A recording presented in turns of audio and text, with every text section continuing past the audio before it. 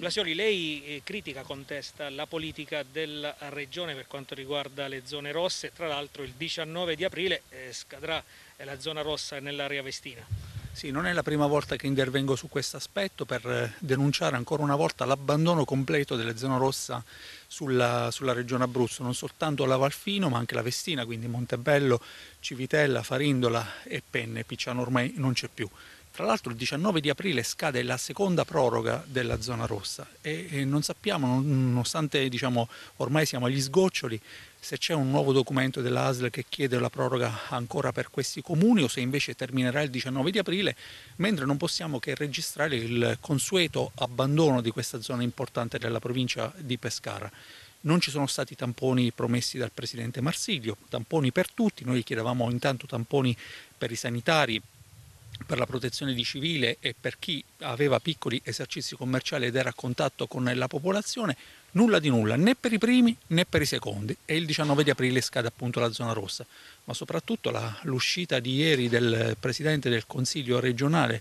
Sospiri è veramente raccapricciante. Sospiri chiede che per la Valfino, quindi non, tu, non, per tutta la zona rossa, solo per la Valfino, invece va chiesta per la Valfino e per l'area Vestina naturalmente, come per la contrada Caldari di Ortona, chiede aiuti al governo, quando invece proprio la legge regionale votata il primo di aprile dalla regione Abruzzo, in cui il Presidente del Consiglio è proprio Lorenzo Sospiri, prevede aiuti per le zone rosse che ad oggi non sono stati ancora determinati né nel quantum né nell'attingimento delle risorse. Insomma una confusione totale, ancora una volta si cerca di fare politica buttando tutto sul governo che invece è molto attento in questi, in questi giorni e le zone rosse rimangono comunque abbandonate, rimangono comunque abbandonate le famiglie, i piccoli imprenditori di questa zona, non c'è stata neanche un'armonizzazione delle, delle regole che noi avevamo chiesto dopo che la regione ha buttato sui sindaci le deroghe da caratterizzare nel territorio.